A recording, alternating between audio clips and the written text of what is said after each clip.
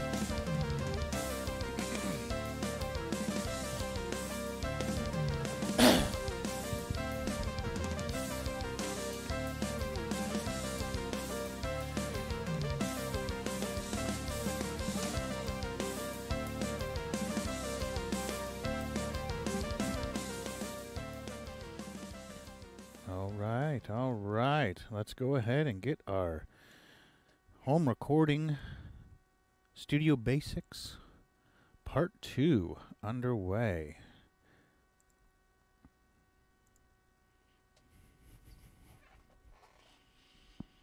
All right, there we go. Hey, what's going on, my friends? And hello to my fellow veterans as well. My name is Trevor Meyer. I'm the co founder and CEO of Warrior Beat and a former Navy corpsman. And I am also a professional producer, composer, and audio engineer. So, thank you for joining me again for part two of our home recording basics series. So, uh, had a great time last week. I noticed we've been getting a lot of uh, great views on our YouTube page, which uh, is fantastic. I'm glad to see that people are uh, interested, you know, in taking advantage of all this great technology we have to uh, learn how to create their own music. Because I personally, you know, find a great deal of satisfaction, even just uh, from the standpoint of um, a hobbyist, you know, of being able to record and create my own music for personal enjoyment. And so, little recap of last week. It was funny. I was, uh, you know, going over last week's video and session, and uh, I sure talked about foam a lot. I, de- I definitely have a thing for studio foam. I think that's probably from uh, years of being in uh, untreated rooms and. Uh, you know, thinking to myself, one of these days I'm going to have studio foam, and that day has finally arrived. And uh, so I'm going to mention it one more time: studio foam at thefoamfactory.com. So, just a quick recla- uh, recap of last week, what we talked about. And last week was really about um, just kind of getting things set up. You know, what are the different components that you need to uh, set yourself up for uh, successful home recordings? And we just talked about room treatment. Again, getting your room set up. That's where the, the foam was mentioned 100,000 plus times. And, you know, where do we set up our speakers? What's good placement for our monitors? You know, and, uh, you know, the kind of computer, laptop, introduction to microphones, different types of cables we're going to use. And uh, this week we're going to put some of that stuff into action. And again, this is kind of a, a more informal session. You know, I'm just here in my own little home studio. And uh, today, what I'm going to do is I'm actually going to record some acoustic and electric guitar. And then we're going to use that as the basis to learn about uh, microphone placement and the different types of mics we can use to record these instruments, and then getting into the software and uh, kind of get the ins and outs. So, what are the different plugins you know that we're going to use when we're mixing? Uh, for example, compression, EQ, uh, reverb is another. Really, those are kind of like the three the three big ones: compression, EQ, and reverb uh, that you're going to use quite a bit. And I'll even pull up some of the more fun uh, effects that, uh, again, come with a lot of the different programs that we're going to uh, be using. And again, I am a, uh, PreSonus Studio One user. I use Studio One Five Professional Edition. Uh, great thing about one of the great of many great things about Studio One is the um, you can uh, it's called presonus sphere and if you're a sphere member it's like $14 a month and you get everything that uh, PreSonus makes. PreSonus is the manufacturer of uh, Studio One, and so you're going to get all the different software instrument plugins. You're going to get all the different uh, mixing plugins, uh, all kinds of great loops, all kinds of great sound sets, and uh, at a very uh, e easy monthly cost. You know, you could pay $500 for the boxed edition of Studio One 5 Professional, and then have to pay for upgrades, you know, on a yearly basis, or you just pay $14 a month, and not only do you get the best recording software, in my opinion, but you get all the different bells and whistles that really make it uh, a powerhouse production suite. And You also get the notation software called Notion, uh, which I'll probably get into way, way down the line. It's not a, a software program I use that often, but it's where you can actually take and enter in musical notation in like a score setting. That way, if you are a composer or conductor and you need to print out scores, or if that's your preferred method of composing, they have a whole bunch of tools that are included in the PreSonus Sphere program that you can use uh, for that as well. And again, a lot of the things that we talk about in the basic program, they're going to uh, be exactly the same whether you're using uh, PreSonus Studio One 5, whether you're using Pro Tools, Logic, or even one of the most popular um, DAW softwares is uh, GarageBand, you know, which comes on a lot of the Apple products, the iPhone and the iPad, uh, for example, and that usually comes free. So a lot of people are taking advantage of that and uh, using that software. So all the basics that we're going over are going to apply to any different software program you choose. And again, I just I choose Studio One for a host of reasons. it's very user friendly. You know, I come at this uh, the recording side of things as a musician first. So um, back when I was learning production, uh, when I was living in New York City, you know, I I wanted software that intuitively worked for me as a musician. I didn't want to spend months and months learning all kinds of you know, complicated routings and all this stuff. And uh, I found that uh, the Studio One program is just so user friendly. You just drag something and drop it in there, and psh, it pulls right up. And we're going to get into that today. so, yeah. So hopefully that. Uh, uh, last week, over this past week, you may be able to maybe make some adjustments in your own studio. And again, you don't have to spend, a, this program is designed for a more budget-friendly uh, studio experience, you know, the budget-friendly musician. You don't have to spend tens of thousands of dollars uh, to get very uh, high quality home recordings. Not you know that's not the case at all. Just making some uh, a few minor tweaks, as we've talked about, uh, can make a huge difference. And again, some of the most important tweaks are going to be making sure you have a soft surface behind your mix area on the front wall, making sure your monitor speakers are at least one foot off the wall and I'm making sure the back wall in your mix position also has a soft surface. Because last week we talked about uh, what's called room reflections and that's basically where sound waves are going to reflect off all the different surfaces in your room. And um, the best the most affordable way I think to deal with room ref reflections is through foam uh, or soft surfaces. And again, if you don't want to spend even like $50 on a foam panel, if you go to you know any budget store or maybe uh, you have some extra blankets around the house, it's just you know maybe stapling up some blankets on the back wall or setting up like a little system where you can just hang some blankets, you know, take some thicker pillows and put them in the corners to deal with bass reflections and bass buildup. Um, again, if you have a couch, you know, and you're setting up your cool little mixing space and you want a place where your, your friends or artists come over and check out your mixes, you know, just putting a couch behind where you sit, that's going to eat up those bass frequencies real quick and easy, and it functions as a place to sit or chill, you know, during sessions. It's always good to take naps when you start to get ear fatigue. And I don't know if I mentioned that last week, you know, we talked about, you know, the importance of having a good set of monitors. When we're picking out our speakers, we want something that's going to give us accuracy uh, which is a flatter frequency response. We don't want the speakers exaggerating frequencies when we're trying to mix. A lot of like traditional stereo speakers or home theater systems, you know, they're going to have EQ bumps at certain frequencies to give things more impact, especially like bass and rumble and clarity. Uh, we want speakers that cut that out so we're able to hear exactly how the EQ is functioning uh, in our mix.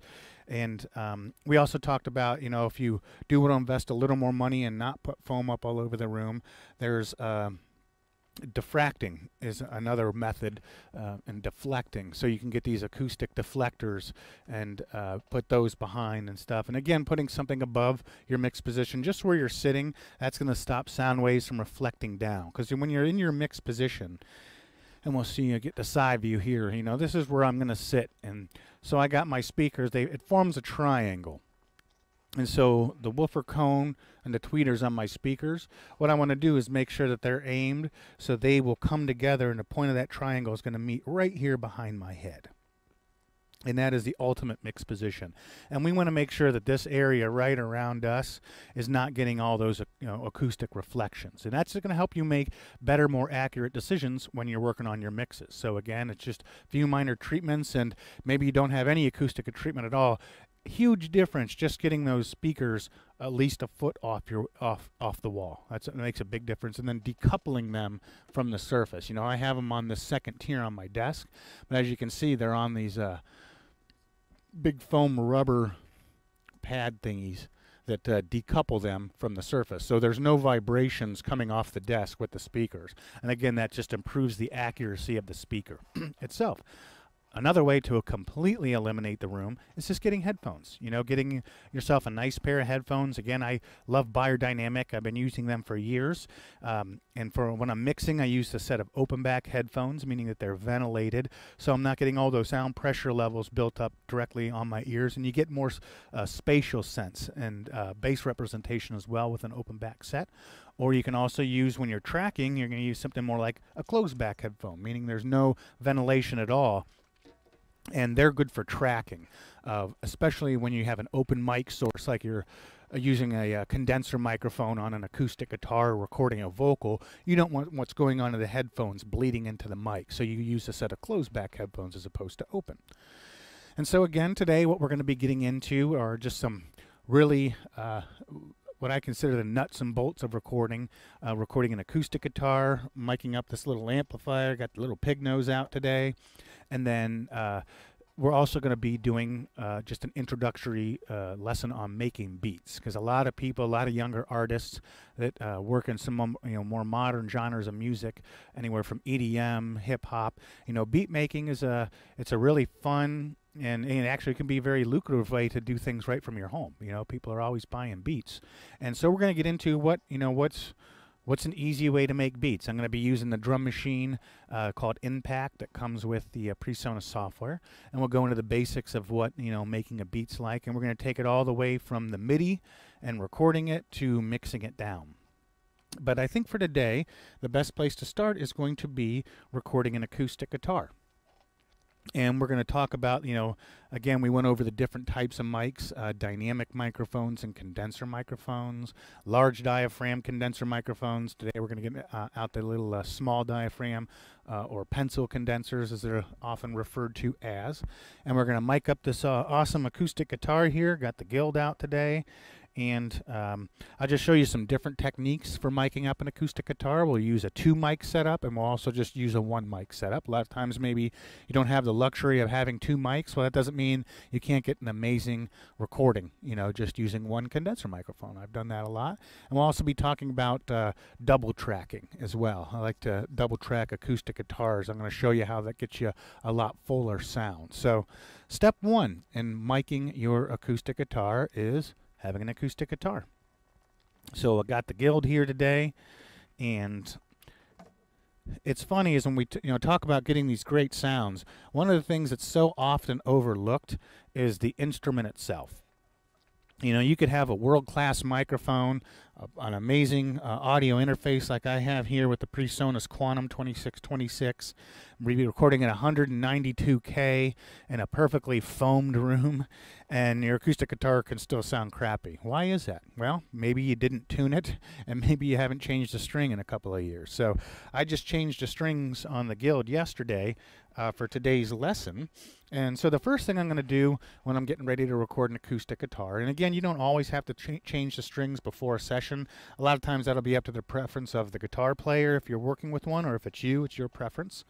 So I changed out my strings, and uh, on my phone, I have a the app I will recommend. And again, all the all the things that I recommend using over in this home recording series are nothing is a uh, paid endorsement. I don't get paid by any of these companies, unfortunately. Uh, if I recommend it, it's because I use it and it's because it's very cost effective. And so this app, Guitar Tuna, is a free app, and of course you can pay a little bit extra, or like two bucks a month, if you want extra features like tuning ukuleles and stuff. Well, I don't use that, so I just use the free version of it, and I have it set to standard tuning. And I just set it down here, and I'm just going to go through and make sure that first and foremost, my guitar's in tune.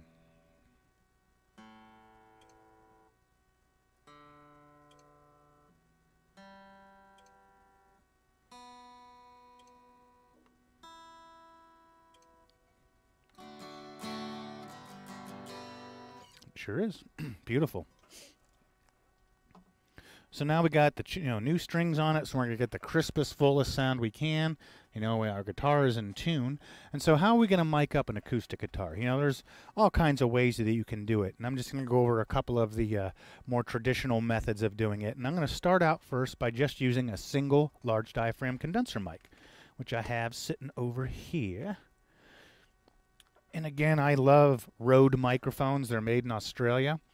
And uh, just it's a great company, and they build incredible microphones. It uh, it's just such a budget. I mean, it's they're budget friendly, but man, I mean, they sound like much more expensive mics. And so, um, this is the uh, NT1A and it's like $229.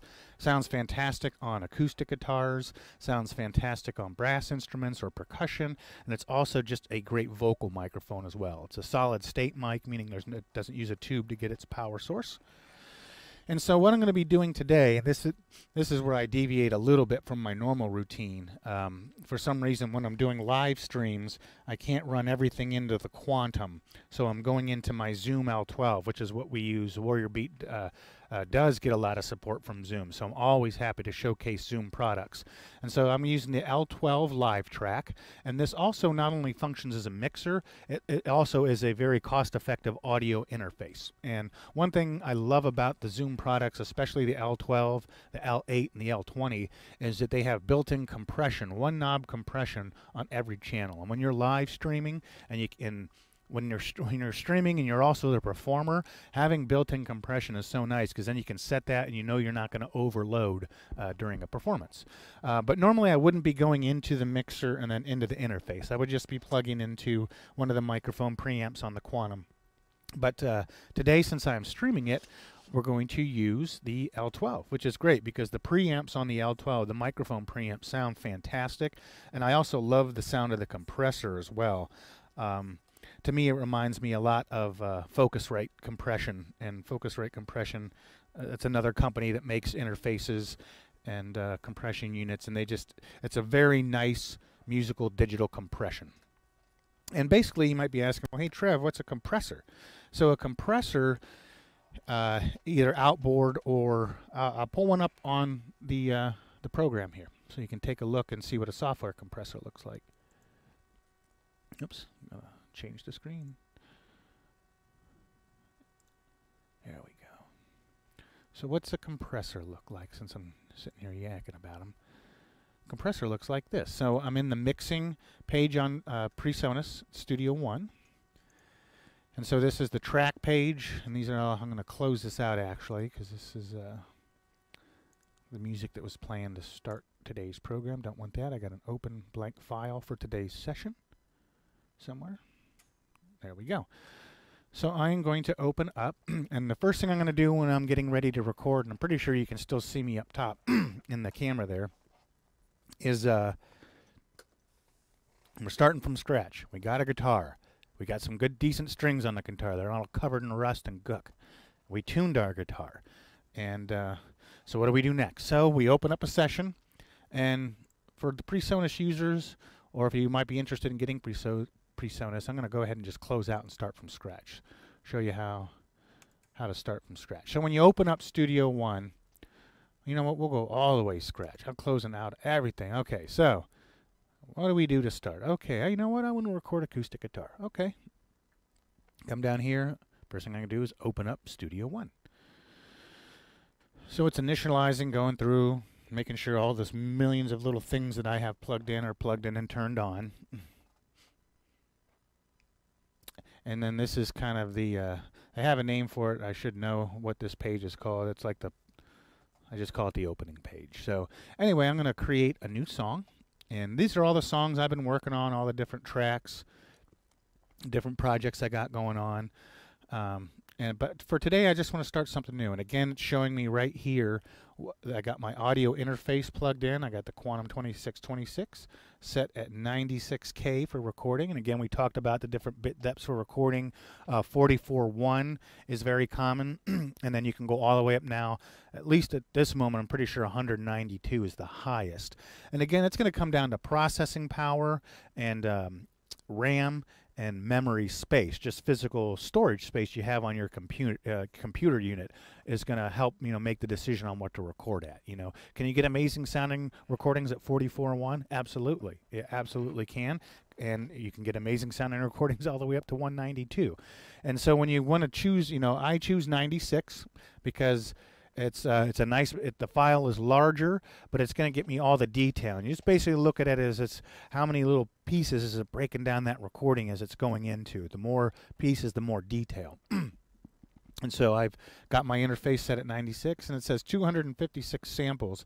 Uh, this is the latency. So I didn't. I don't think I talked about latency last week, and that is a, something that's huge in the record, especially in computer-based recording. Latency is something you always need to be aware of.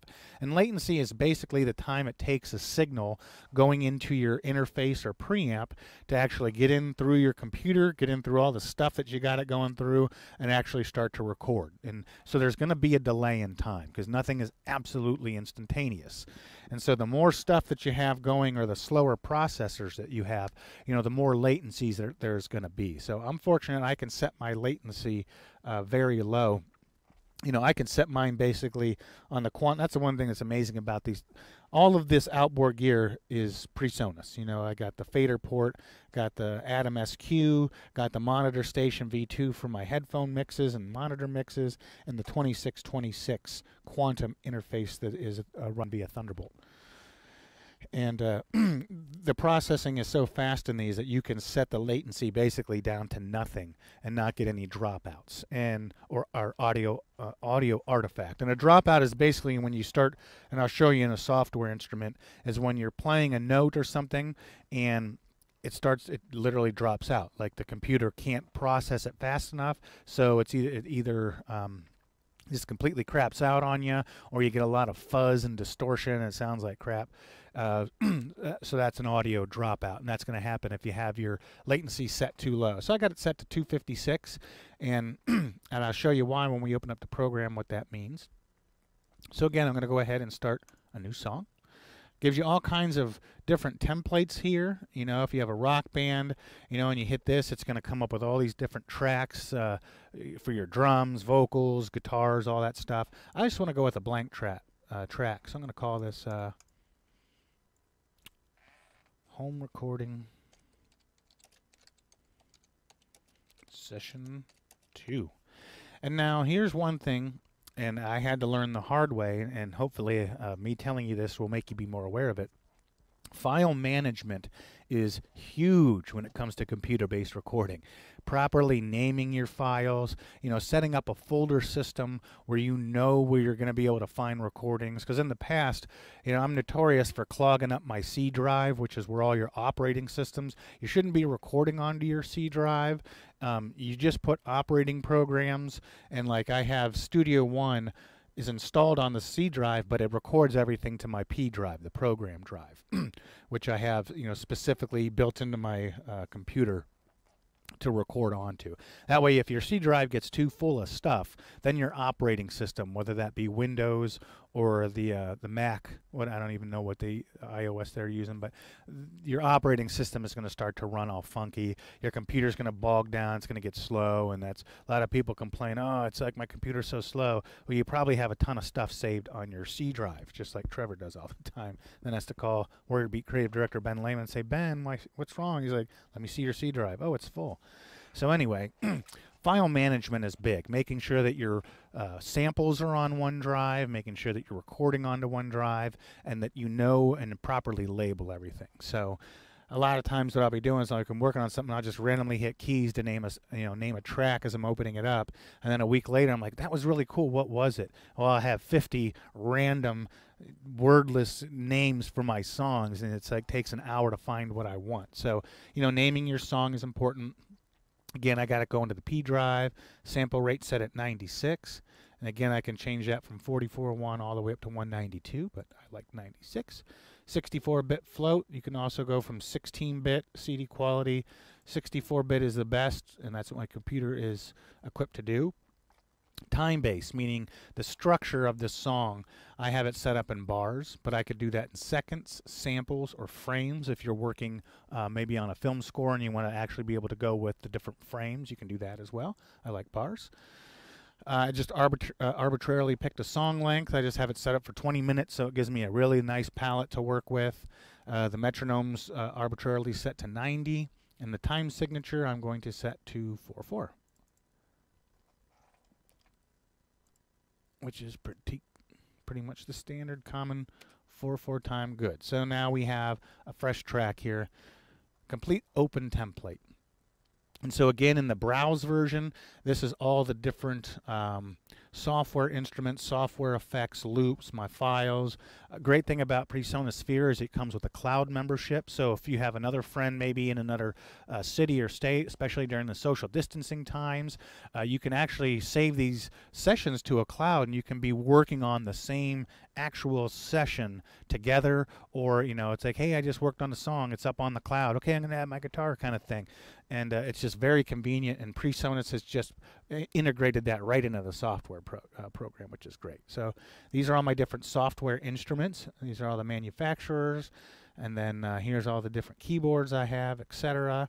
And we're going to work today uh, predominantly with PreSonus stuff because this all comes with the uh, when I said if you sign up for Sphere and to get the software, Impact is the drum machine, Mai Tai is a very powerful synthesizer, Mojito is a very old school style synthesizer, Presence is kind of a catch-all software instruments that has everything from state-of-the-art orchestra software to pianos to drum sets to synthesizers. You know, you can pretty much, if you can think of the instrument, Presence probably has it. And Sample One is a very powerful sampling program, meaning you can take an audio file and start to manipulate it, cut it up, loop it, um, and that's a fun program as well. So those are your software instruments come over here to effects. I was talking about compression, just wanted to show you what a compressor looks like. So first thing I'm going to do, since I said I'm going to get ready to record an acoustic guitar, I am going to do a, I'm just going to use one mic for this time, and then and we're going to set up the a two mic setup after we do this, and then you can hear the difference.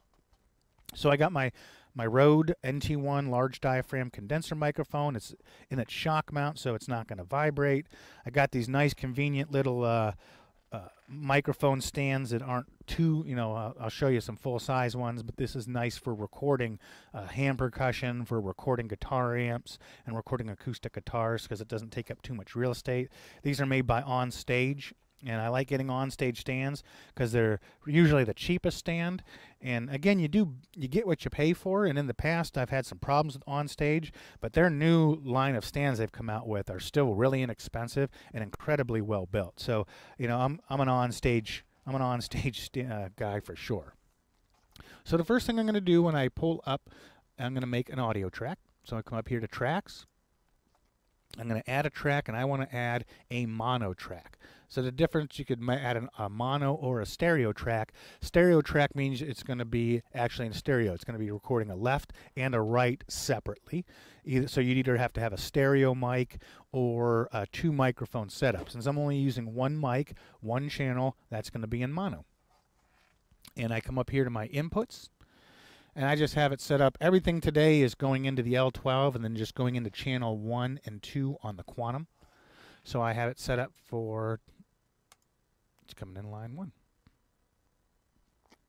And this will be curious. I might have to change some things because, like I said, it's uh, kind of uncommon for me to use this setup, but I'm going to do it anyway. So I have my my proper input set up, my tracks ready to go, and now what are we going to do? We're going to plug our microphone in. So again, we use an XLR cable to plug in a microphone.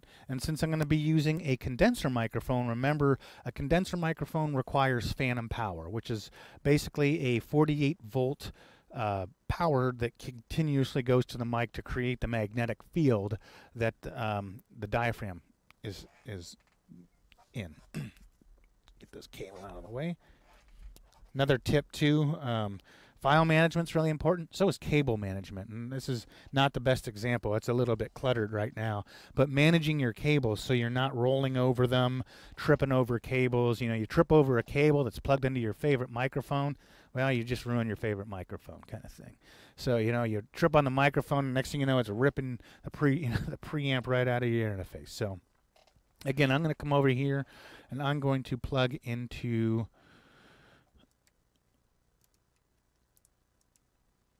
let me this. We'll go into channel one. Keep it simple. And so here on this, um, actually, I'm going to go into channel three, and I'll tell you why.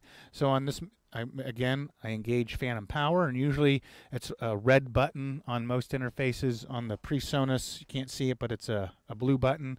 So now I turn that on, and phantom power is going to channel one, two, three, and four. And uh, turn down all my gains here pad is off. Good. And then I plug my mic in.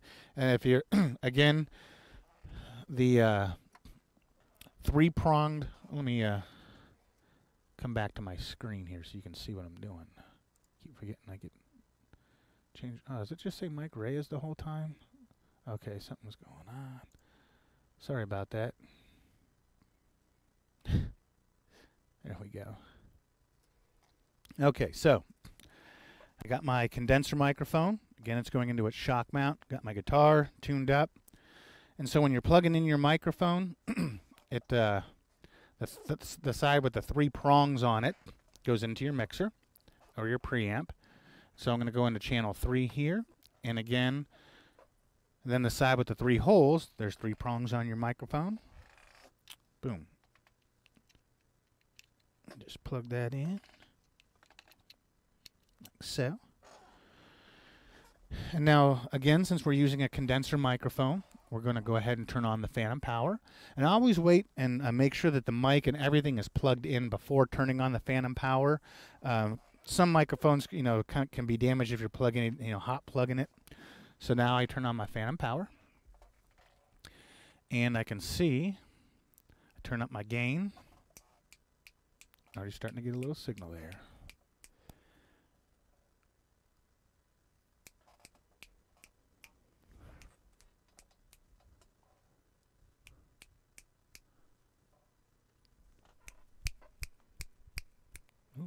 Reverb on it.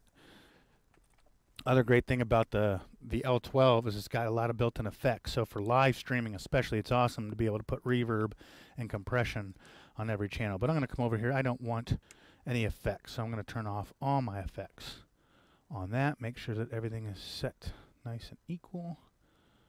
Good, good, and good. Okay. So now I got my plugged in, my microphone. There we go. And so you could hear when I just picked that up, that rumble, you know, and again, that's what uh, a good shock mount is going to do, is prevent that, what we call handling noise. Don't want any handling noise. And so we come over here, and now, you know, for the single microphone approach to miking an acoustic, what you want to do is uh, Get the diaphragm aiming right at your the, the sound hole. And I'm looking on my mixer there, and it's coming in nice and hot. Not overloading, but it's a nice strong signal. And you can kind of hear as I turn.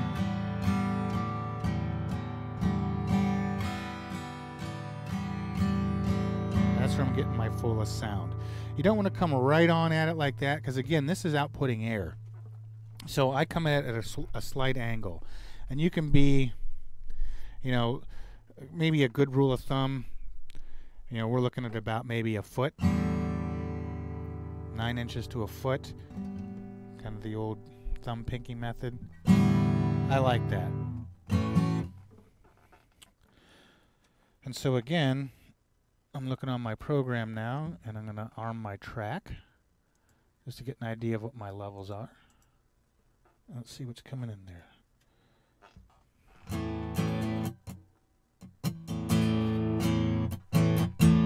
Good.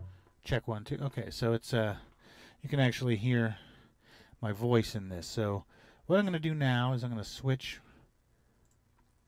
my camera angle to the desktop. Hopefully I don't bump anything that will change that screen. But I want you to see the software.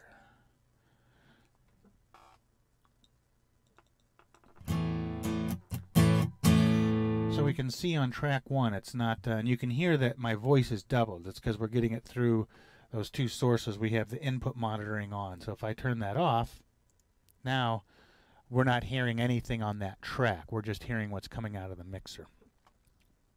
But again, what I'm looking for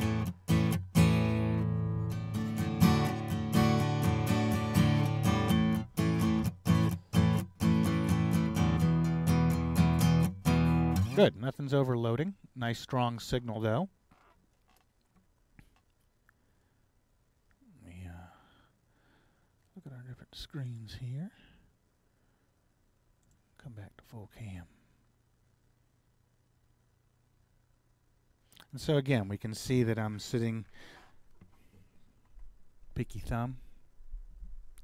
You know, that's going to be like a seven, seven to ten inches off there off-centered from the uh, the sound hole.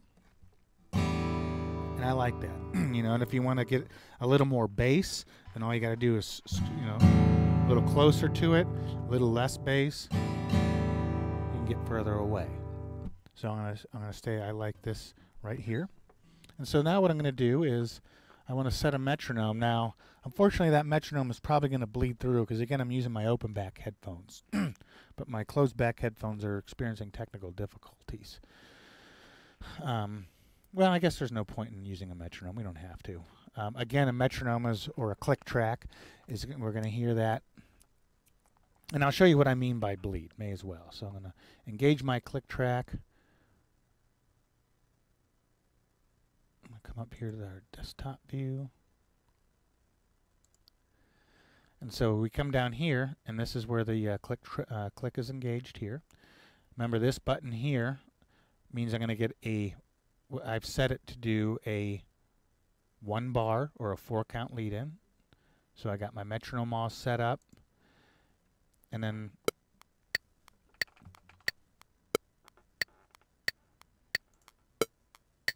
Yeah, see how, how loud that is? That's coming through the, the microphone because it's coming out of my headphones. So I'm going to turn that off. And we're just going to go ahead and record something very, very basic.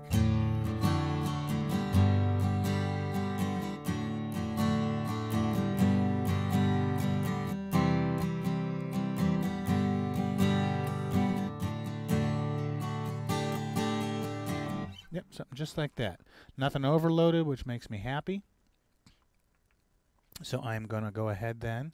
And if you don't have uh, the mixing thing like I do, the uh, control surface, a fader port, you just come down here to your, uh, these are called your transport controls.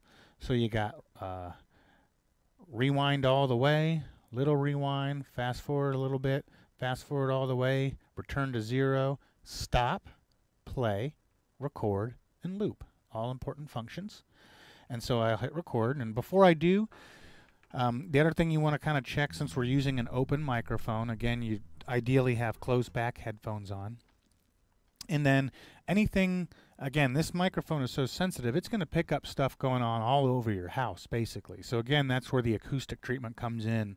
Uh, so, not only is it preventing things from reflecting around your room, it's also preventing sounds from leaking into your microphone. So, uh, I'm in the basement setup, so like I turned off the turned down the furnace kind of thing make sure there's no fans running. If i'm doing laundry upstairs in the laundry room you know that's usually not the best time to uh, record because this microphone is so sensitive it picks up the rumble of the washer and the dryer you know and they're so sensitive. If you if you got the gain on the microphone really turned up i can hear the mailman going by in his little truck.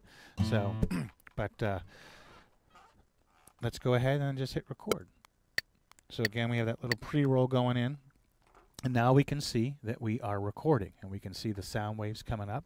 And so I'm going to ahead and again just make sure I don't have anything overloading. Looks good. And I'm going to go ahead and just record some chords here.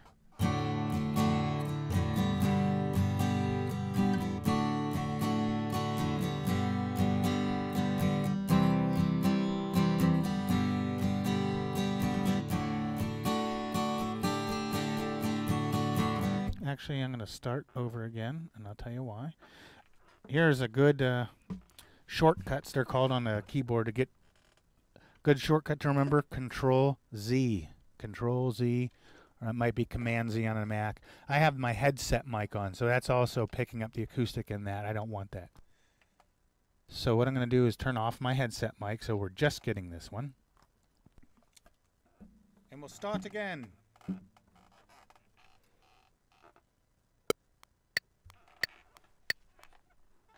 Okay, so now it's just recording the Rode. Excellent. There we go. Nice and full. Beautiful.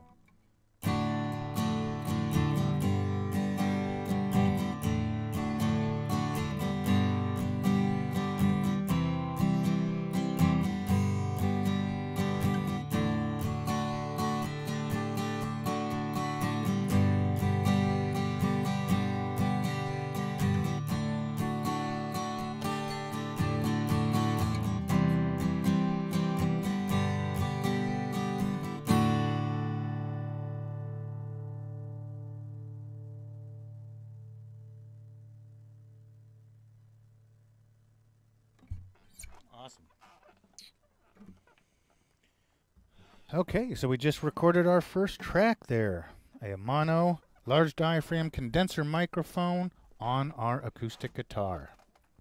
And uh, and now that we're looking at the screen together, we can go back and uh, interesting phenomena we get in uh, modern recording is that it's not only can we mix and make decisions with our ears, but we can use our eyes too because we have so much visual feedback uh, on our track. So I can see that uh, I got a nice. This is called a waveform audio waveform. So we can see that I got a nice full waveform.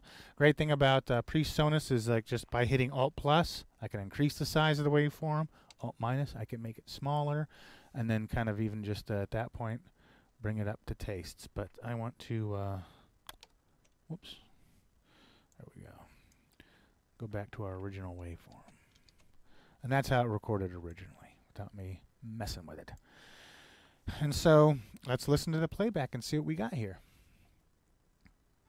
Okay, so now there's me making noise.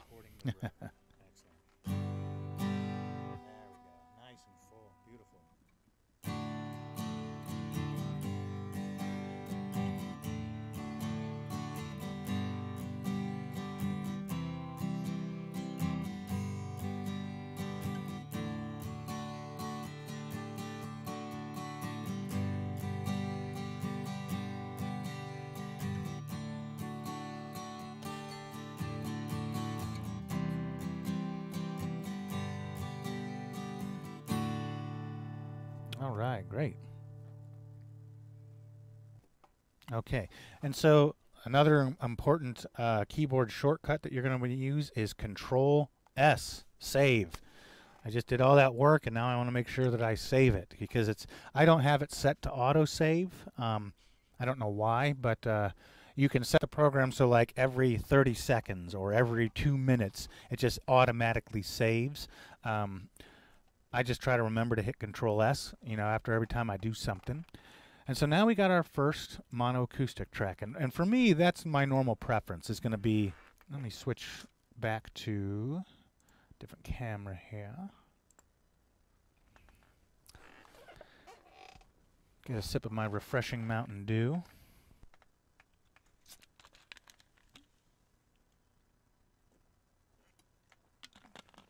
It looks like my crotch.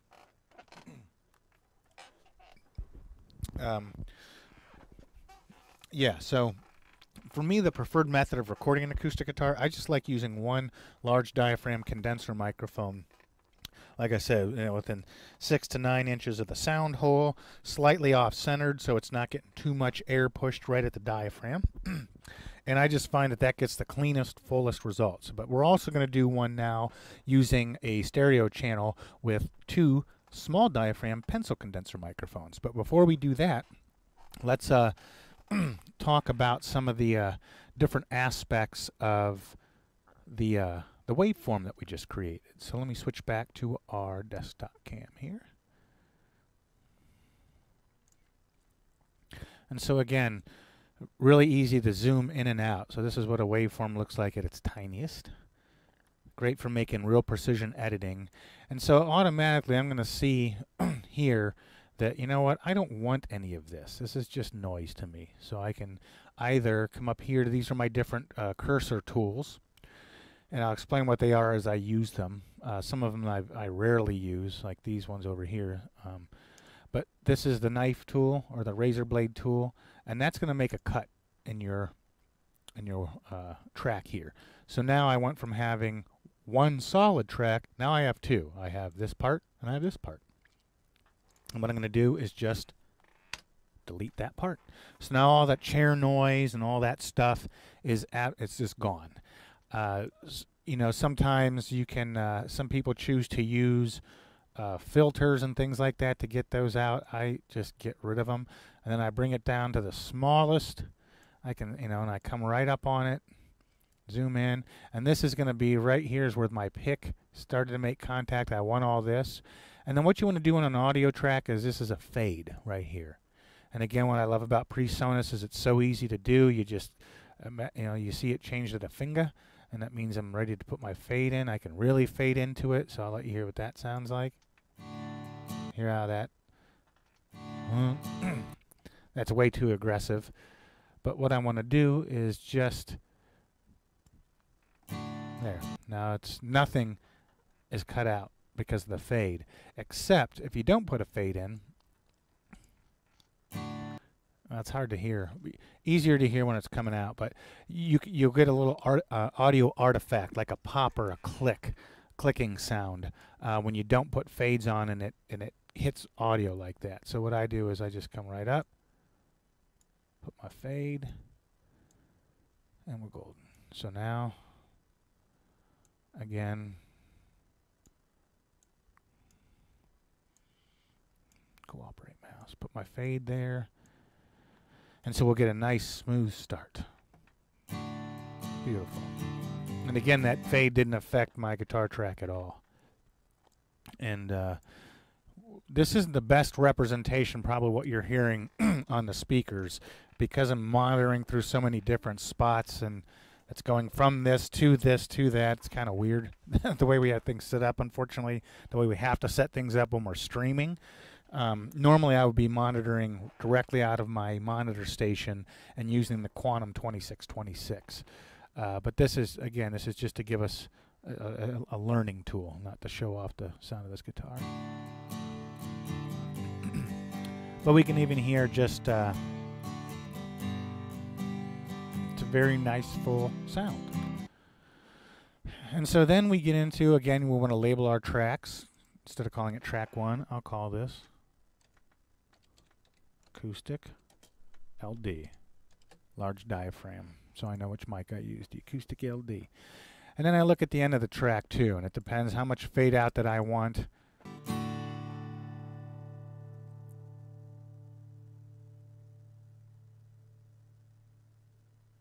Getting it out by 18 will be just fine because this is going to be my chair noise and fans and whatnot going. Uh, just a little side anecdote when you talk about hearing, we'll just call it, you know, ambient noise, room noise. in the the Beatles, Sergeant Pepper, uh, on the last track of that album, A Day in the Life, they uh, they loved that piano ring out, and uh, so maybe this can be some listening homework if you're uh, if you are a Beatles fan, it's uh, always good to reconnect with the Sgt. Pepper album. If you're not a Beatles fan, maybe I can turn you on to one of the best bands in history, in my opinion. But at the end of Sgt. Pepper, on the song "A Day in the Life," it has this great big build up, and then boom, this big piano hit, and they just kept increasing the sound, you know, the uh, sensitivity of the microphone as the piano's fading out, and actually you can hear the air conditioning system in Abbey Road Studios running at the end of that. You know, it's just it's just kind of cool to hear, and they just left it in. You know, it's just kind of part of the part of the experience. Um, so let's go ahead now and just kind of take a look. Again, I'm going to show you how to set up the. Uh, I'm trying to decide what would be easier first. Well, let's look at some of the, the, the three different types of effects that we're going to get into right away, and then I'll pull, I'll use the pencil condenser so we can kind of A/B the two different uh, sounds we're going to get from using a small diaphragm, two mics, to the single uh, large diaphragm condenser. and uh, so yeah, so let's switch back to this view here. So now I'm I'm satisfied. Okay, I like the way that track sounded. And um, since I'm just doing an acoustic track, what I'm going to do is I'm just going to, you can, now you can see you can drag this thing all over the place, you know. And again, this up here is our time format. This is in 4-4, so this is, you know, these are our measures.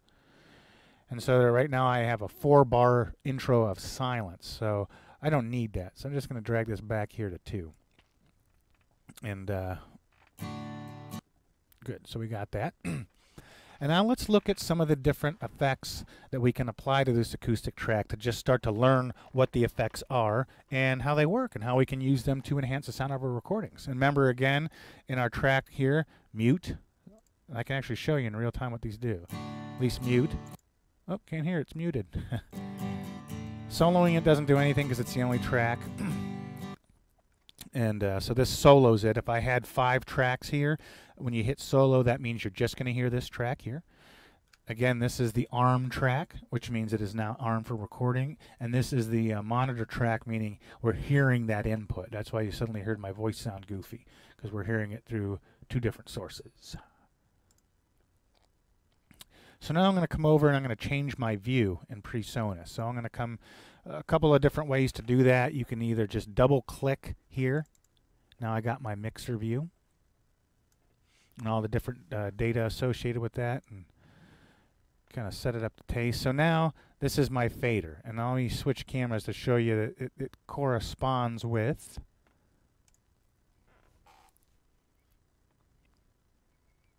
this. so we're seeing that uh, fader, the, the virtual fader in the mixer, and then I can also control that here with this as well.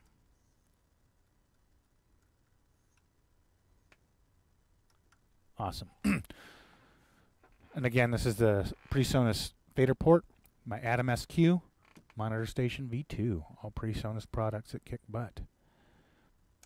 So let's get back to our track session. and so again, I can either use my mouse to control that, or I can use, now I'm using that software controller, the fader port. Cool.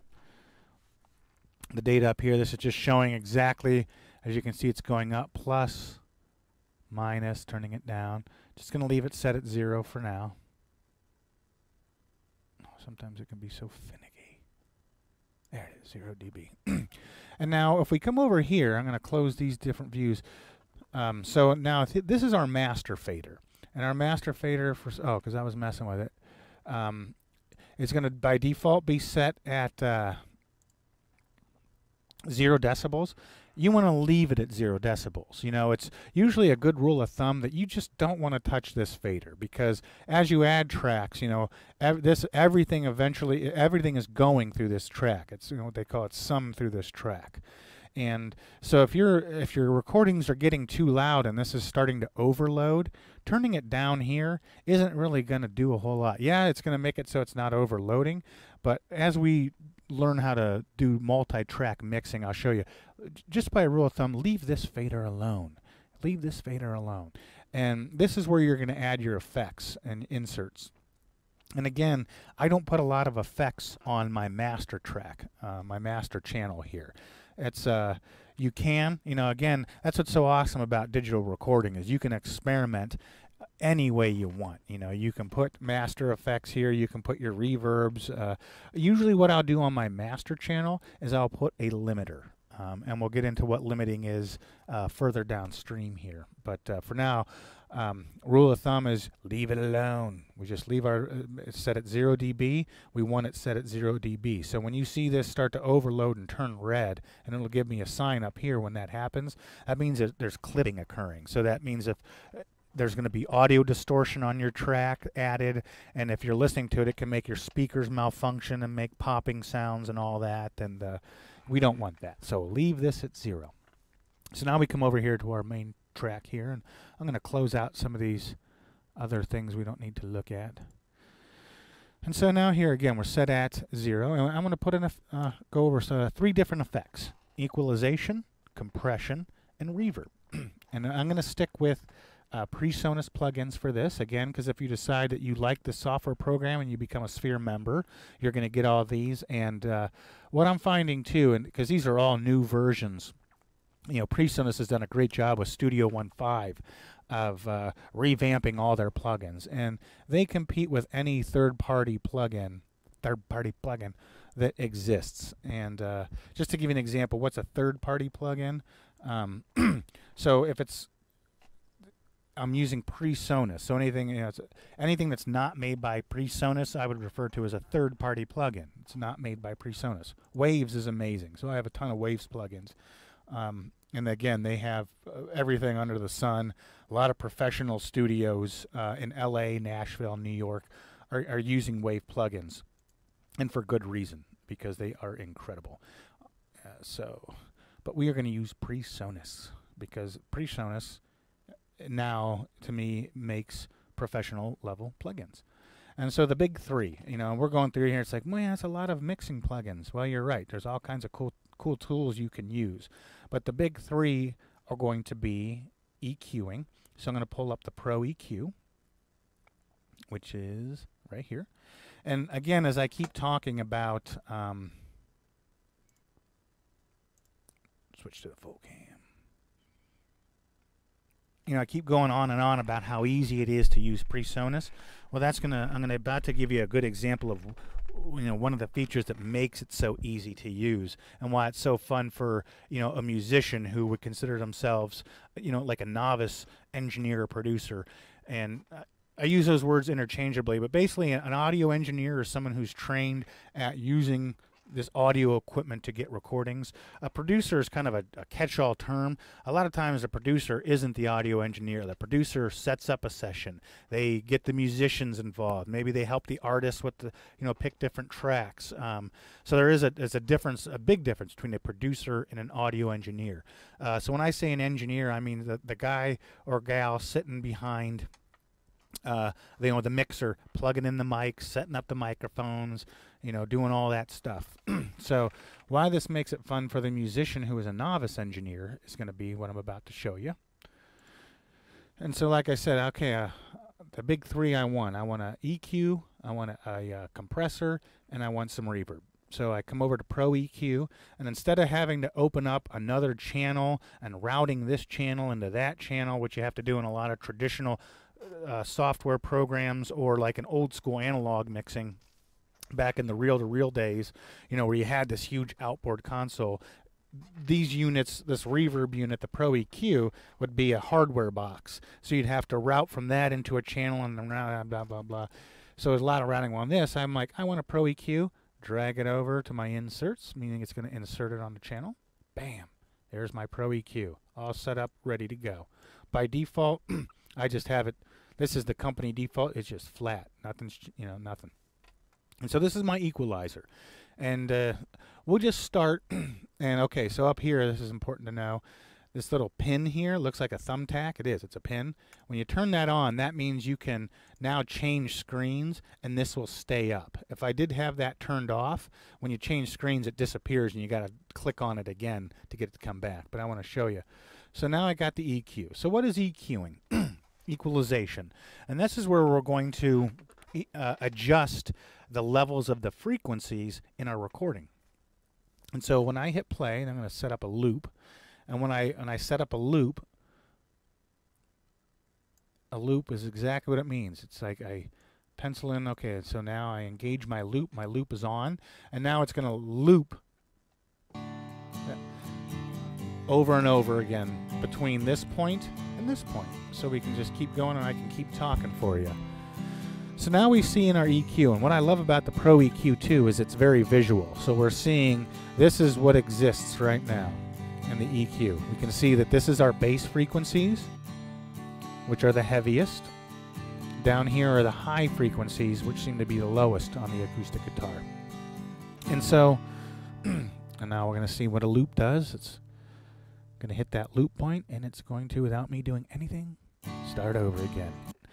Um, so what I'm looking at now is, uh, you know, there's all kinds of different theories, and you can Google search uh, master class on EQing, and some of the best mix artists in the world, you know, give wonderful classes. If you're a PreSonus Sphere member, they have the Learn section and the Sphere setup that. Uh, uh, a couple of their engineers go through and just do beautiful jobs teaching you a master class on that. So again, I'm just going to give you my philosophy and just a basic introduction, and you can just run with it from there. Because what again, what's so great about um, digital editing like this is it's what's called non-destructive. Meaning I can make all kinds of changes, but it's not doing anything destructive, meaning changing this waveform. That means I can undo all the stuff I want. So if I'm not sure if it's going to sound good, doesn't matter because I can just control Z and it goes back to start. Whereas in the old analog days, once you did the mix and committed it to tape, well, it's like you had to go back, delete it, or load up a new tape, you know. so again, we're looking at, um, uh, so basically it's either adding or subtracting volume of the frequencies. And I tend to be more of a a subtractor, you know, meaning that if I want more bass, I don't immediately want to turn up the bass. I might want to reduce other frequencies that can be detracting from me hearing the bass. You know, maybe bring down the highs a little bit so that the bass is more prevalent. Or vice versa, if I want more highs, I don't just want to turn up the high end. I, you know, first thing I'm going to do is adjust my mid and low frequencies so they're not overpowering my high frequencies. uh, so we can either add gain to the frequency or reduce gain. And so this is what I love about the Pro EQ is it's a very um, I mean, it's a very detailed mixer. So we got all these different frequencies, and I'm not the best person to ask about the different frequency ranges, you know. So uh, forgive my ignorance on that. It, that'll be something you'll have to figure out on your own. I can't tell you like this is what 3K sounds like. I'm not that guy. I just I'm an experimenter. I just like to turn knobs until I hear what I like. So let's just go through some of the. So right now, I can visually see my bass right here is nice and fat, and that's good. I wanted my acoustic guitar to have some bass. so this LC means low cut. So I'm going to engage it, and immediately we see this curve. So now all the frequencies above this curve are no longer being heard. With, without. Kind of hard to tell in the way we have the mix set up, but um, I'm going to actually change our loop.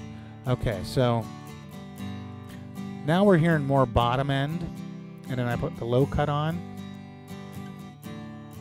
and it's going to cut out all these lower frequencies. So these here are no longer being heard in the mix, only here. And now I don't want to completely cut out all the bass.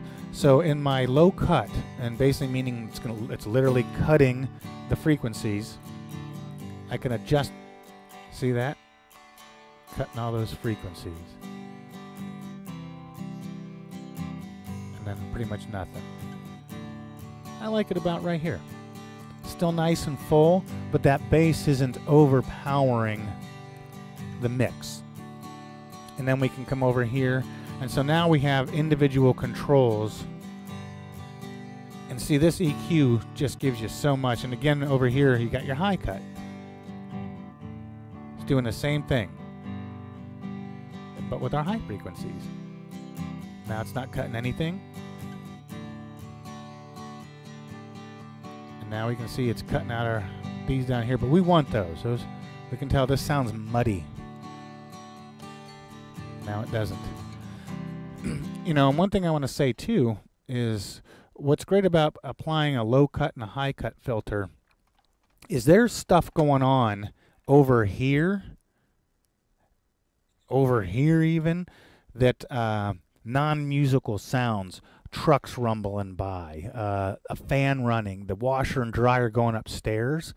Even though we can't hear it, it's still being picked up by the microphone and impacting the recording. So when you put a low cut filter on and filter out all this low stuff that's really below human hearing, well, then you know it's you know, because the speakers are going to pick that stuff up too. So those kind of rumbles and stuff, even though we can't hear it in the instrument or human hearing, it's going to affect our speakers too. So that's you know uh, when you're recording sound muddy a lot of times it's because you haven't filtered out frequencies that are causing problems and could be adding sounds to your mix that you know again you're not even aware of so putting a low cut filter on now all the, you know this is all my rumble you know this is the washing machine going you know this is someone walking around upstairs and the same thing with the high frequency you know maybe somebody you know, like I said, you're using a condenser microphone and we're not in the ideal studio conditions, and that's what this program is for. This is for uh, us home recording enthusiasts, enthusiasts who don't have the ideal conditions.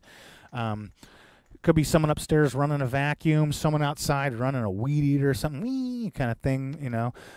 We're going to filter all that stuff out. So again, just because we can't hear it over here doesn't mean it's not being recorded and affecting our speakers and the playback and everything. So we just put on these low cut and high cut filters, gets rid of all the crap.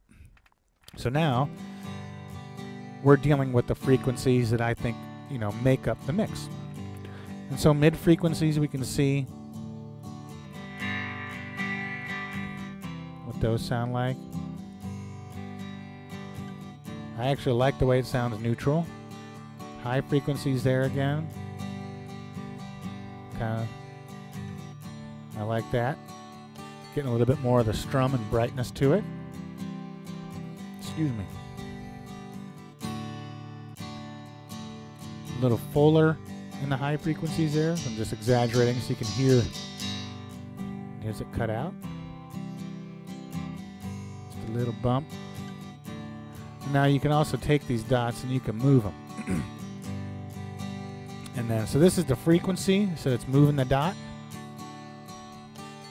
And the Q, meaning it's uh, easier to see on this one. Now see how that line's going from real big arc? Now we're doing some fine precision mixing. You know, uh, precision EQing there.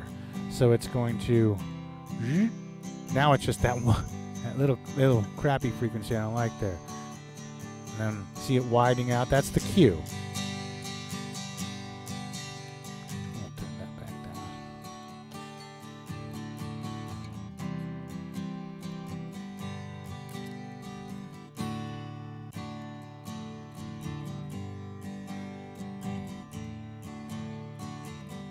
Good. And again, if something's sounding a little too muddy, instead of, uh, you know, we come over here to our low mids. That's mud. you know, that's it's making it harder to hear the lows and the highs. So we can see just a slight reduction and even a more precision reduction in certain areas. And see what's great about this visual aspect is I can see where they're peaking at. And just grab those. And again, it gets a little bit more clear. Now we're fine tuning it. So yeah, so that's what an EQ does. And again, there's so many like in-depth EQ mastering classes. I don't I don't feel the need to do that. Not right now. That's we're not there yet. We don't need that. Um, again, there's people that uh, can speak more intelligently about each frequency uh, than I can. So again, that's I, am a knob twister. I love the fact that I can just keep twisting knobs until uh, I get the sound that I want. Uh, so I'll just give you general overviews, and then you can start twisting knobs too. so that's what an EQ does, and we could hear how very quickly we were able to make the the bass frequencies sound more focused. We still had that nice full sound, but it wasn't too bassy in the bottom end, kind of drowning out some of the detail of the mids and the highs. And then we tweaked those highs so we could hear a little bit more of the picking and the strumming as well. And we got, I think, a very nice, balanced uh, acoustic guitar sound. uh, with one microphone, one condenser microphone placed, you know, six to ten inches, whatever, off the sound hole at an angle. and uh, again, what did we do to make that recording a success right off the bat? New strings or decent strings, and then we tune the guitar. You know, tuning that guitar, make sure your guitar's in tune. You'd be surprised, even some some good artists will come in and maybe they're intimidated, you know, being in the studio for the first time, you know, or they're paying by the hour, so they're watching their watching the clock kind of thing, and they'll forget to tune their instrument. So, as a professional engineer, you know, that's something that you always want to, uh, you know, encourage them to do. Oh, hey, you know what? We're going to do another take. Why don't you tune up real quick? I'll give you guys five minutes. Tune up, you know, and just encourage them to do that because, yes, we can go in the mix using. Um, tuning software and fix bad notes and tune a guitar, but you just don't want to have to do that extra work, especially if your buddy's not paying you to do it.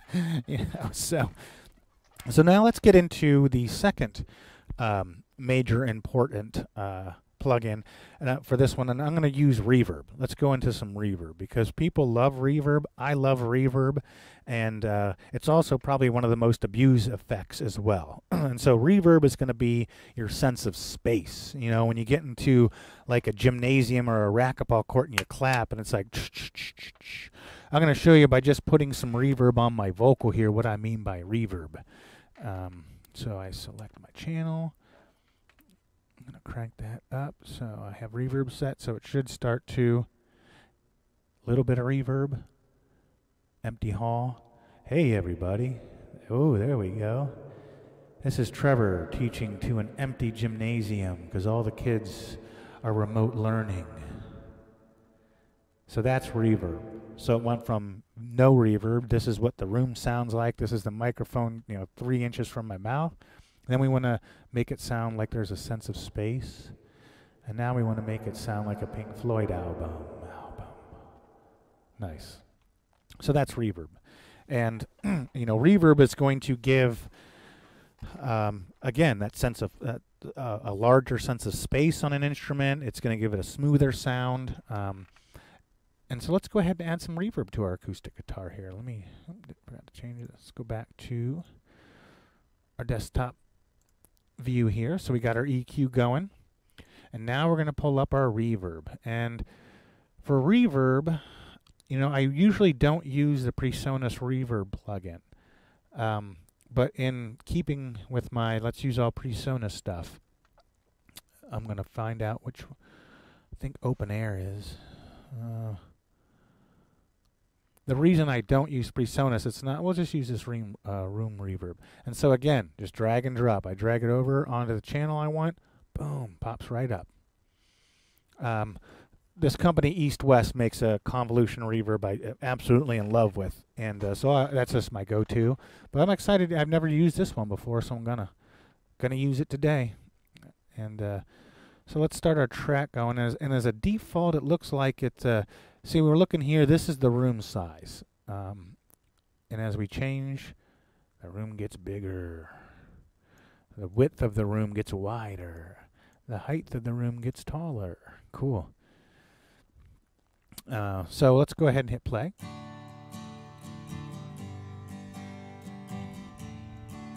So this is no reverb, and I'm here at the mix. and when I say, you know, I'm looking at the mix, this is how much of the effect, in this case, this is how much of the room reverb is being applied to our track. And right now we have 0%, so we can't hear anything. This is 100%, so now we're hearing all the reverb. Rarely are you going to want to go with that. Turn that up a little. Okay, and one thing I'm noticing, like that, uh, the playback on the acoustic guitar is uh, kind of quiet. So I'm going to come over to my EQ and you'll see here gain. So this is going to turn the entire volume of the track up. And instead of doing it here on my uh, on my fader, because I'm already set at zero, I'm going to come over here and I'm going to turn it up on my reverb. Or on my EQ, I'm sorry. So we can hear it getting louder.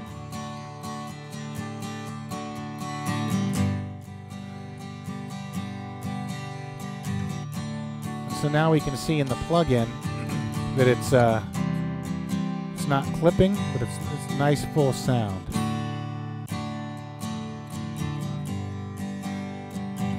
And so we come over to our reverb, and we want to give it a sense of space. You know, it's like we don't want to make it. We don't want it to sound like we were recording in our bedroom or a basement. We want to make it sound like we were recording it in Carnegie Hall. So.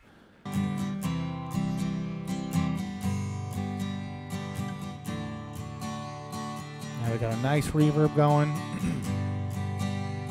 Makes it sound a little bit bigger. Length. How long it's going to ring out. And you can hear it's starting to get muddy because there's so much reverb. And again, this is where a reverb can be abused. Now, one thing I love about these programs too is like, okay, so I come up here where it said default, click that. Now I got all these different types of presets, they're called. So somebody who knows what they're doing went through and made all these different ideal reverb, uh, reverb settings.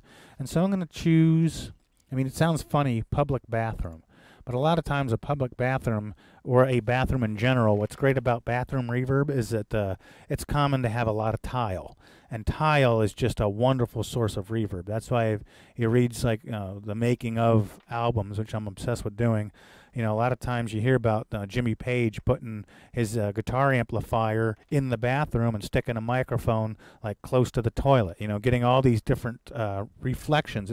Why do people love to sing in the shower? Why do we always sound good singing in the shower? Because a lot of times we have all that tile reverb, you know, and it just makes our voice sound bigger and smoother and professionally produced. You know, we all sound good singing in the shower.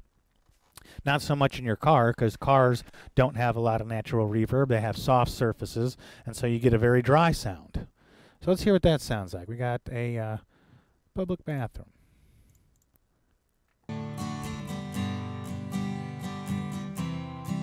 So with none.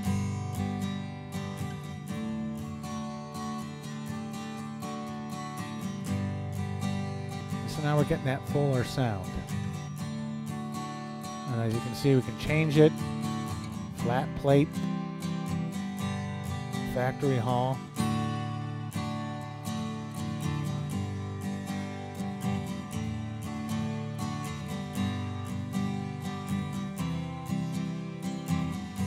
Good. So that's just the ins and outs of reverb. And again, it's it's usually going to be to taste. It just depends on what kind of uh, what kind of sound you're going for. You know, uh, but on your acoustic instruments, drum sets, uh, basically every you know everything can get reverb added to it, um, even just to smooth things out. So that is our reverb. And the third effect that I was talking about is going to be compression. So we come to the compressor. Just drag it in there. And now this is also going to be important and I'm going to switch back here. If we look over here, I know it's kind of hard to see, is that the order that they're in matters. So right now, it's going into the EQ, then into the reverb, then into the compressor, meaning that that compressor is also compressing the reverb and the EQ. A lot of times I don't want to um, I don't want the compressor affecting the reverb because sometimes it's going to change the impact of frequencies. And so I want the purest sound uh, to be interacting uh, with my compressor. So, uh, and again, what a compressor does,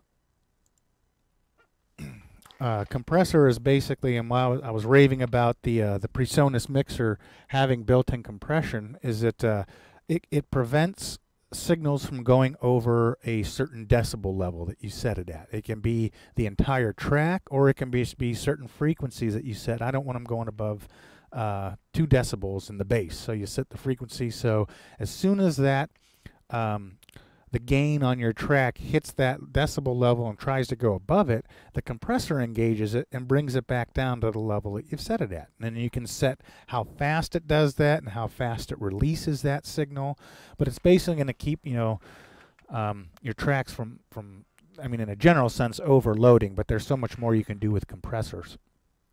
And so let's take a look at that. How are we doing on time? Doing good? Yeah, I think so. Oh, yeah.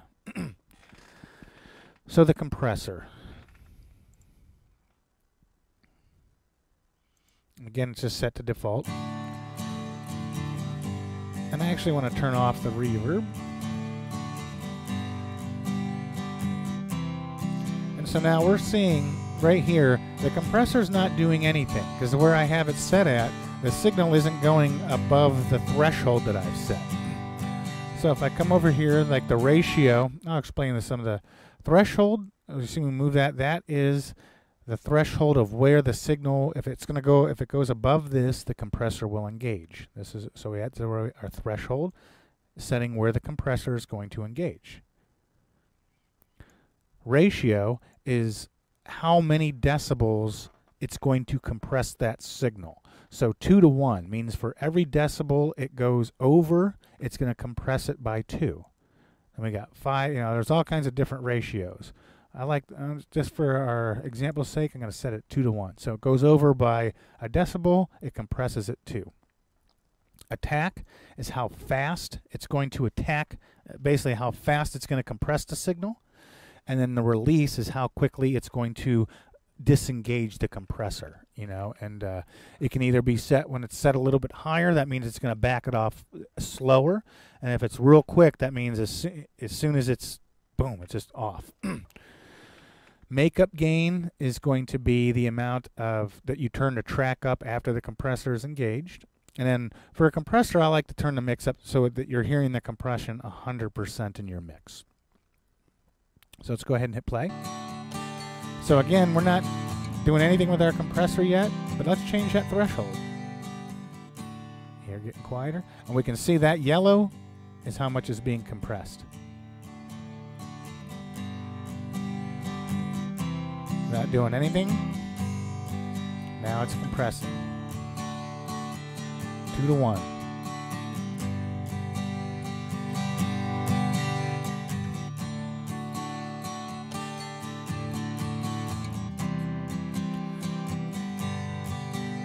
Without, and we can see that little line there, bringing it so it's more dramatic. With, without. Compressed, uncompressed. Good. so that makes sense.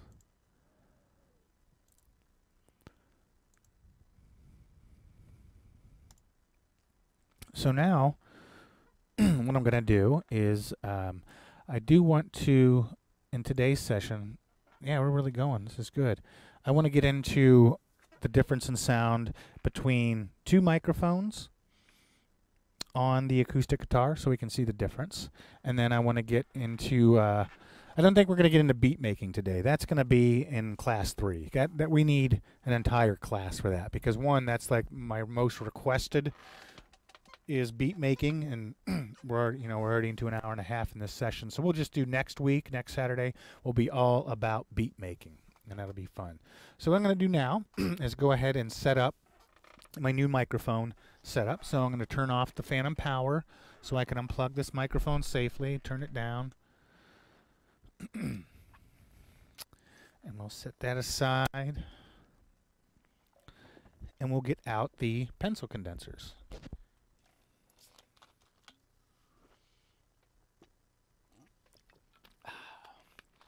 and while we do while we do that, I'm going to open up another file so we can have some background music. What we want? Something chill.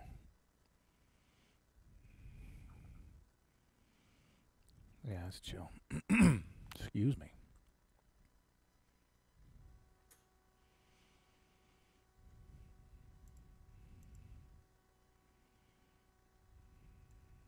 Just a track I've been working on.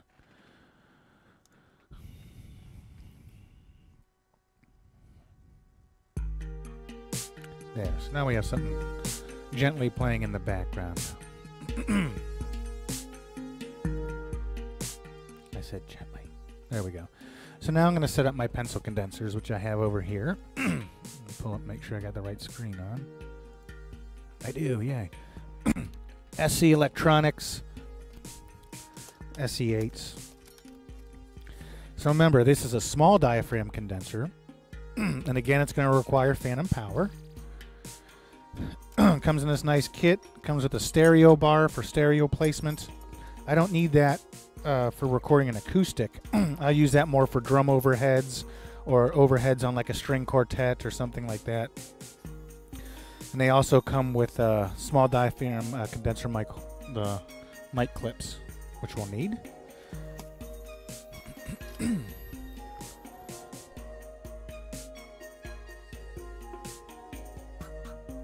so now I'm going to take these off my two little mic stands here. And again, with a condenser mic, with any microphone, you want to be careful, but doubly so with the uh, with the condenser microphone because those diaphragms are so sensitive. You know, you drop it once and it's, I mean, they're pretty much junk at that point. You know, they're just they break. And again, it comes with the the Rode NT1 set comes with its shock mount. And so I'll need two microphone stands for this. And this is my uh, Shure SM57 dynamic microphone. You can use that to record an acoustic guitar. It's just uh, it's just not going to give you the most detail. Uh, that mic, uh, the SM57 is my go-to for a snare drum, or congas, or overtop on a djembe for that, they uh, I really don't think they can be beat. Okay, so now the idea when we're setting up these uh, pencil condensers is going to be get these mic clips on there. It's going to be about, uh, I'll show you where we're going to position these. So it's again going to be about getting one microphone aimed at the sound hole, and then we're going to put the other one aiming more at the neck. So we're going to get um, more of the fingering sound and just a little bit, um, you know, more bright, bright sound coming out of that because you're not getting all of the uh, bass being pushed out of the sound hole. so again, get our mics.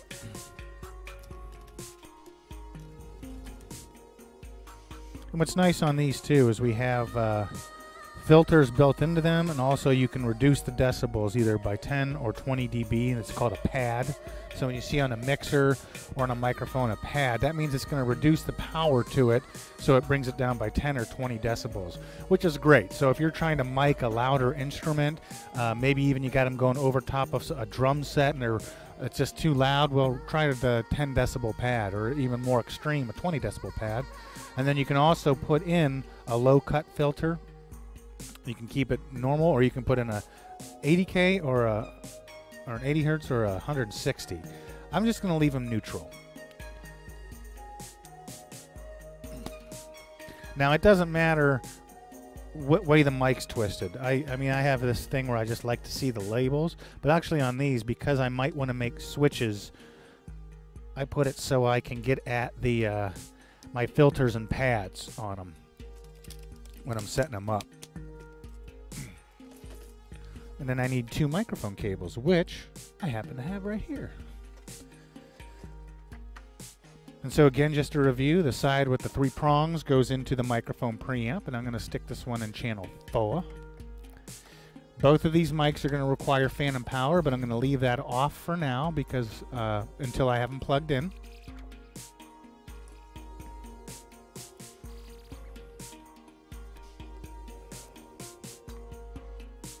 So this has basically become a master class on acoustic guitar recording. That's good because everything we're doing to the acoustic guitar just applies in general, you know, to an audio signal as well. And so then we plug our mics in. In a smaller space, try and uh, remain uh, tangle free. Good luck. Okay, so all my mics are set the way I like them.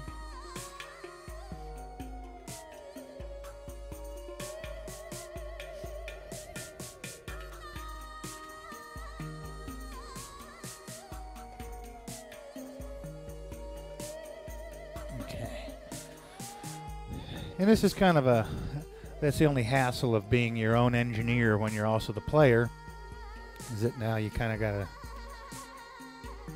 without without scratching.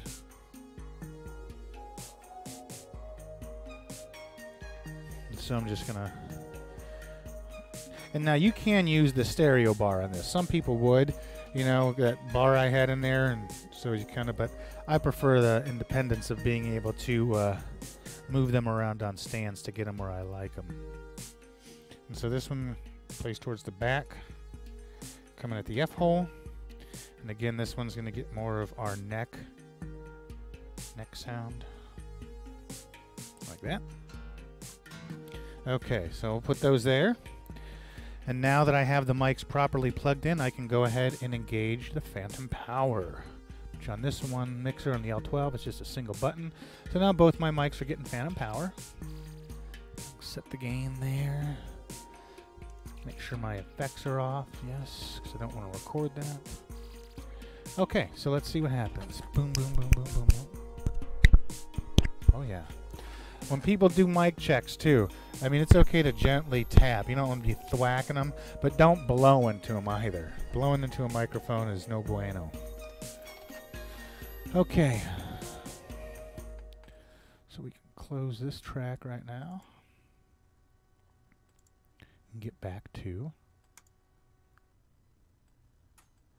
Okay, so again, this first time we recorded acoustic, it was a large diaphragm condenser, and um, where's it going with that? Oh, okay. So it's a mono track. So now what I'm going to have to do is insert two mono tracks.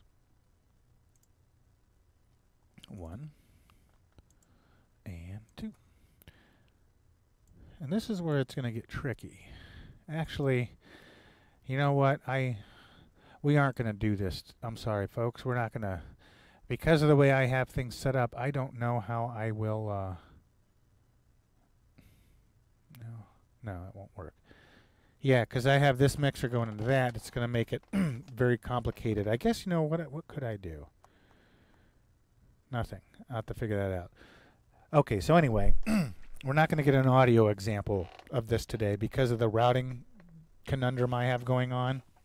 But um, essentially, we know what we can still hear it coming through there. I'm just not getting the uh, the stereo that I want because the, this mixer is going into the 1 and 2. So, but essentially now, you still, we're seeing nice full sound, but we get a lot of the